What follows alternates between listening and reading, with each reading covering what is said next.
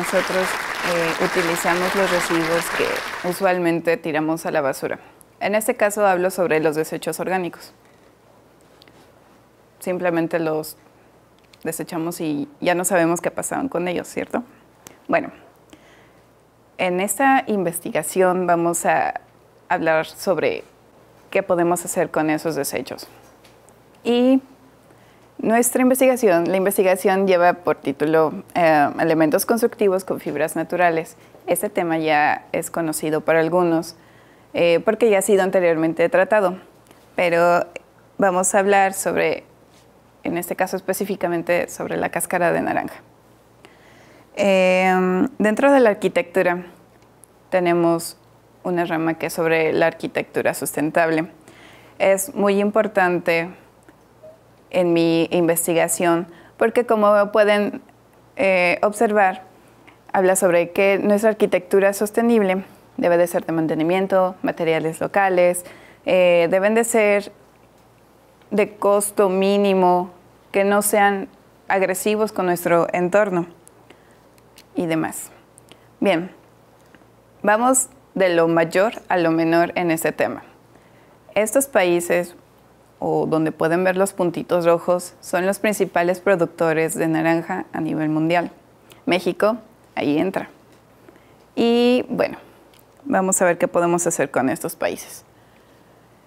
Em, en resumen de esta investigación es de poder crear un o varios elementos constructivos con la cáscara de naranja. Para ello se realizaron, en este caso, eh, dos investigaciones específicas que les voy a comentar, que es sobre la cáscara de naranja, sus propiedades y sobre la importancia de la arquitectura vernácula del noreste de México, porque es aquí donde vamos a hacerlo.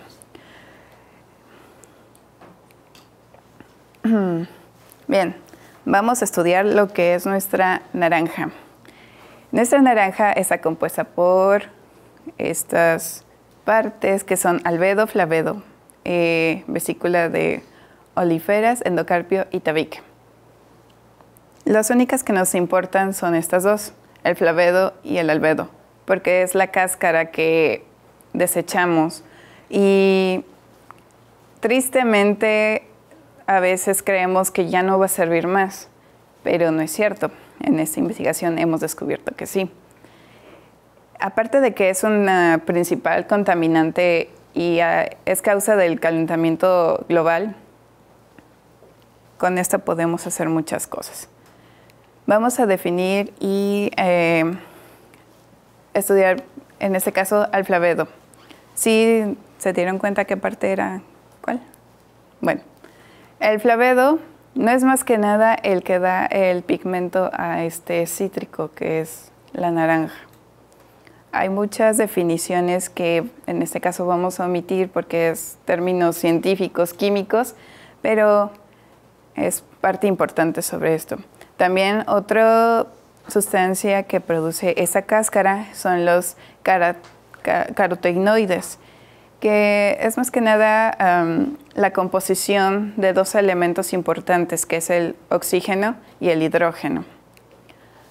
Eh, estos tienen divisiones que son carótenos y xantofilas, que es lo que permite esa coloración en la cáscara de naranja.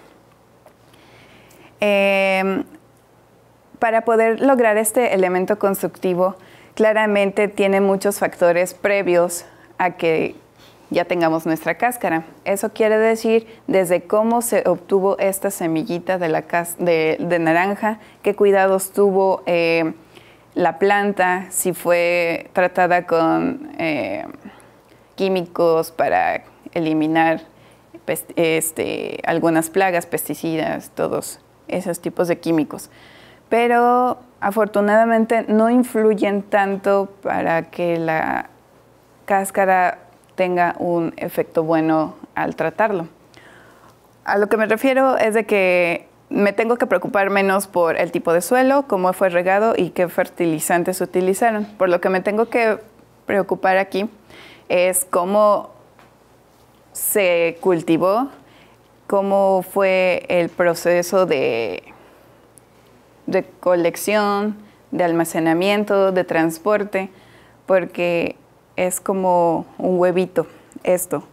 El cascarón, al tener contacto rudo con una fuerza externa, evidentemente se quiebra. Eh, algo así pasa con la cáscara de naranja y esto hace que se pierdan esas propiedades que se encuentran en, el en, los, en, la cáscara. Pues. Y otro eh, elemento importante es la pectina, que es el componente enlazante de la pared. Aquí químicamente hablando, bueno, es un polisacárido, que es la combinación de dos monosacáridos, y bueno, es lo que nos da eh, la naranjita. Eh, otro importante es la sanctofila, sanctofila, perdón. Eh, esto es lo que hace ocupa, o, ocupa el lugar de lo que es la fotosíntesis para que dé, en este caso, la coloración. otro es la criptosantina. No es más que nada que la vitamina A. Nosotros lo podemos consumir y el cuerpo humano lo procesa convirtiéndola a vitamina A. El otro es el albedo, que es la parte o la pielecita blanca que muchas veces nosotros se la quitamos para solamente poder tener los gajos. Pero que creen que esto es lo más importante de la parte de la naranja. Bueno, antes de pasar, eh, esto fue importante para saber qué tanto puedo utilizar, en este caso, el residuo de una naranja. Y esto me llevó a de que no tanto es el exterior lo que nosotros vemos, la parte porosa, sino el interior, la fibra, lo blancuzo, es lo que va a ser importante para la realización, ya sea de algún bloque, de algún panel constructivo, de un tipo de acabado. Y eso ya lo veremos más adelante, ya que eh, nos em, aliamos un químico y yo. Hay una parte también de la investigación que es el estudio de la arquitectura vernácula aquí en el estado de Nuevo León o la sección del noreste de México. ¿Por qué? Porque la arquitectura vernácula es aquella que respeta, se integra y sobre todo usa los materiales de la zona. Como lo vimos en las diapositivas anteriores, la arquitectura sostenible usa los materiales locales, lo que aquí el arquitecto Amos Rapport, eh, sintetizando esa frase de él, es de que debemos de encontrar ese equilibrio eh, y esa integración, porque no vamos a dañar un ecosistema, el medio ambiente, solo para poder tener un confort, cuando podemos tenerlo con los desechos que nosotros mismos producimos, pero que obtenemos de la naturaleza. El arquitecto Christopher Alexander también apoya esta, esta rama de la arquitectura. Y la arquitectura vernácula para él es donde podemos nosotros, eh, o sea, tener esa ese balance, ese respeto hacia lo que nosotros tomamos y cómo lo estamos devolviendo hacia el medio ambiente como construcción. Ah, tengo unos estudios también respecto a historia porque todo esto influye.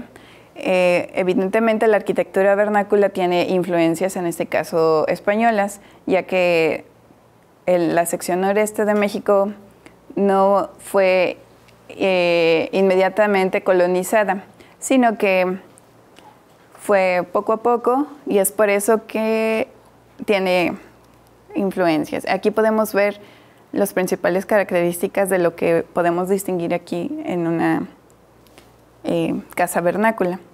Los materiales usualmente pues, son los que están aquí en la región y los que usan aquí es carrizo, vara, eh, barro, palma, adobe, cantera, todo eso.